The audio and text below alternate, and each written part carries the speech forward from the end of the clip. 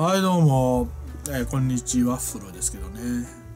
えっとねあのーまた質問いただいたんですよ。質問シリーズ第2弾ですけどね、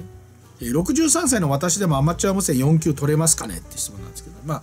これご覧の皆さんは全員同じ答えだと思うんですけど取れます、ね、まず取れますので安心してくださいと。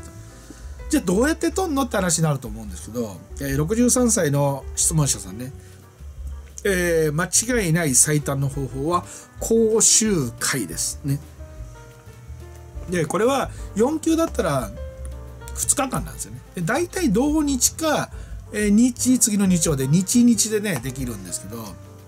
ちょっとこの方もねどちらの地域にお住まいか分かんないんですけどまあいわゆる関東だったら結構頻繁にあって、まあ、要するにあの人口の多いところでは結構たくさんありますよと。でないとこはないなりに何かやってるしであの無線機屋さんがね主催してるイベントもあるんでそういうのをねまず探すと。で分かんなかったら当局にコメント欄で私ね、まあ、この県に住んでますぐらい今日かな。あの何々県なんですけどこの辺でね、えー講習会やってるとこあったら教えてくれませんかって僕調べてあのお知らせしますんで調べるぐらいできますからね。でもこの63歳の方も YouTube にコメントかけるほどのネットリテラシーはあるんでご自分で調べられたらまあベストですけど分かんないというか僕に聞いてもらえばねあの代わりに調べてねお知らせしますんで大丈夫ですね。で皆さん見てる人も思うと思うんですけど63歳で全然取れますよと。で国試って言って国家試験で一発で取ることもできると。今国試が CBT 試験になりましたよね。だから昔みたいにこの日程で試験会場行ってせーのドンでやるんじゃなくて、え自分のスケジュールで1人で受けれる試験になってるんで4級ね極めて取りやすいとでも4級の、えー取れる動画って何本も出してます要はあのカンマル君ってね完全マラケの本を覚えりゃいいんですけど取るだけだったら覚えたら取れるんですけどまあ63歳で多分学習に不安があるから取れますかねっていう質問だと思うんでそれだったらね講習会で一流のね一山の先生から教わるのがもう間違いないです。でなんでかっていうと問題集を覚えるのと人から話聞いて自分が理解して問題解くのでも全然違うんですよ。で僕もその4は昔に、えー国試で取ってで30年前ね。で3は e ラーニング取ってそこでまず知識が整理されたと。で4級持ってるから4級の知識あるんで3級はちょっとだけ勉強したら取れたと。で2級になった瞬間に知らないことがいっぱい出てきてダメだこりゃと思って2級アマチュアを、えーまた e ラーニングで取ってで3級の教科書と2級の教科書を見比べながらあこんなにギャップがあると。2級ってこんなにたくさん新しいこと知るんだと思ってね。でそれで2級の新しい要素を e ラーニングの素敵な教科書と素敵な教材それから動画教材ね。これで全部学んでなん,、まあ、なんとかちゅうか、まあ、2級取れて運用できるまでになりましたと。ね、で、えー、と最近はこれね。ねあのハム手帳ねこれをもう見ながらね常にあの勉強しながらやっておりますけどね。なんでねこれ63歳の方ね、まあ、僕54なんでねまあ、9歳しか違わないです9歳しか違わないと大したことないし一回りいってないですからね。ええ。でも本当ちょっととちょい年の離れた兄弟ぐらいの感じなんで僕できるんだったら63歳なんでもう絶対できますよ。であの63ってことはねまあ多分間もなくえーっとなんだまあご卒業というかねあの自由な時間増える方だと思うんで今アマチュア無線始めておけばねもうあの引退後楽しいと思います。今始めておきましょう。で体元気なうちに始めた方がアマチュア無線で楽しいんですよ。なんでかっていうと移動運用がおもろいんですよね。僕ほら全国移動運用で回ってるじゃないですか。であちこちの山の上とかね港とかからねバンバン C 級出してねいろんなその地元の人とね交流してね。どっかうまい店ないですかと駅前でやるわけですよ。この間出雲市駅でどっか出雲そばの美味しいとこ教えてくださいよとかでローカルの人教えてもらってるこれが楽しいわけですよ。ね、なんでこの63歳の質問者の方ねあとでリプライしときますけどね。あのぜひともね頑張ってほしいなと思いましたね。皆さんもどうですか？そう思いませんかね？うん。63歳全然現役ですよね。そうだと思いますよでそのね今まで4級持ってないってことは全然無線に親しまれてないんだけど、まあ、東京の動画見たかなんかでアマチュア無線に、まあ、と突然興味、まあ、あれ偶然興味を持ったとでこういう人こそねやっぱりアマチュア無線界で大事にしていく必要がある、まあ、大事にしましょうってことですね。と思ったんで僕はあのこういうね63歳の、え、元気なね、まあ、僕よりも先輩の方はねもうぜひとも応援したいと。ねそう、さっきねあの別の動画でね若い人応援してましたけど僕はあの年配の方特に先輩の方っていうのはねリスペクトしてるんで応援していきたいと。ね。え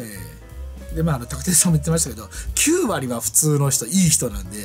そうあのたまに変わった人ちょっといるだけで、ね、あのみんないい人なんで僕ずっともうアマチュア無線の人はいい人だと思って接してるんで、はい、だからこのね63歳の方もねいいあのいい人と一緒に無線したらね楽しくなってくるんでね。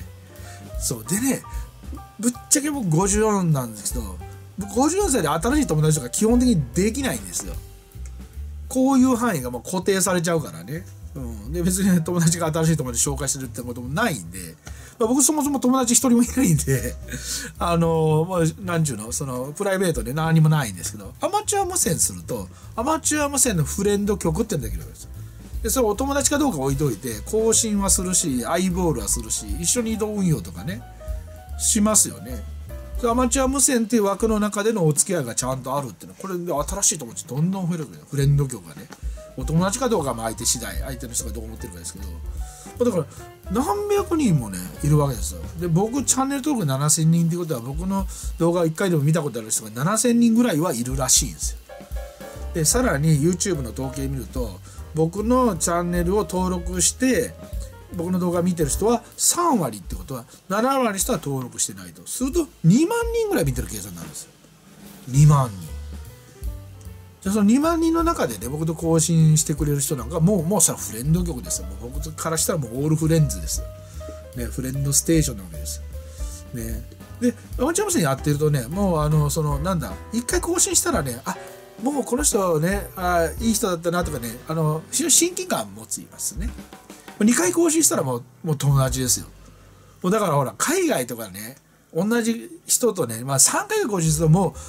あれですよ、サンキューマイブラザーですよ。もう、兄弟なのってそんな嬉しいこと言ってるマイブローとか言われるわけですよ。ね。マイフレンドも当然のように言われるわけですよ。Nice to see you again, my friend です。Your signal 59、5 by 9です。QSL です。もう、海外の人ですらお友達になってくれる。ましてや近所のね、その VHF、UHF でね、ご近所の方ならね、あその辺りお住まいですから私はこの辺に住んでますよとかね、まあ、言っても言わなくてもいいしね。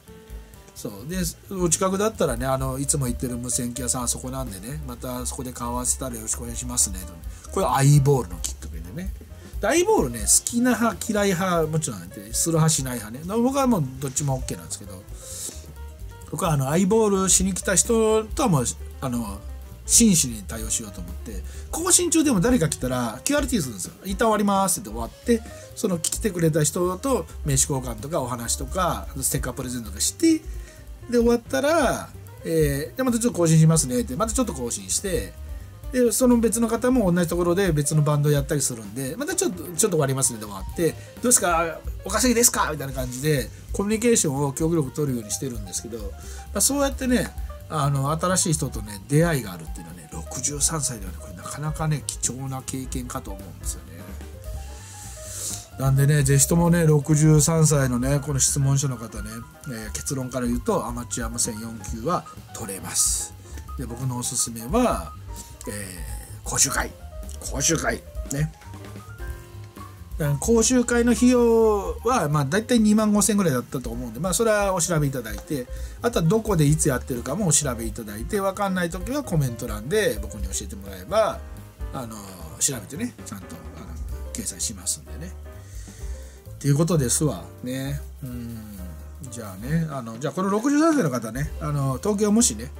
えー、もしあの関西の人だったらすぐ更新できるしどっか違う地方の方だったら僕が行った時にはぜひ更新してくださいとね、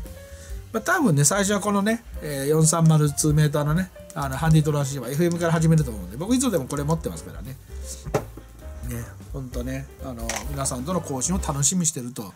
いう動画をね前出しましたけどね。ねあの本当にねそう思ってますんでね。えー、よろしくお願いしますということでじゃあ63歳のご質問の方ありがとうございました、えー、以上ですね。はい。じゃチャンネル登録高評価ね、えー、一応言っておきます。じゃあ今日もありがとうございました、えー、ワッフルでした。73